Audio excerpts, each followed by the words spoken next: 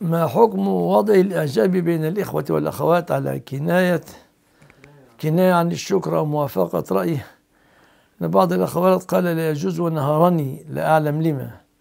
يعني هل في فتنة ورا كده يا عبد الرحمن؟ حيثما وجدت الفتنة ابتعدي.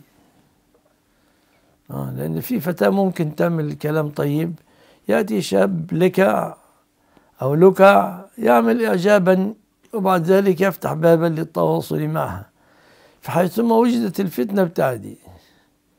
حيثما وجدت الفتنة ابتعدي لكن إذا كانت فتنة مأمونة فلا بأس حينئذ. بارك الله فيكم.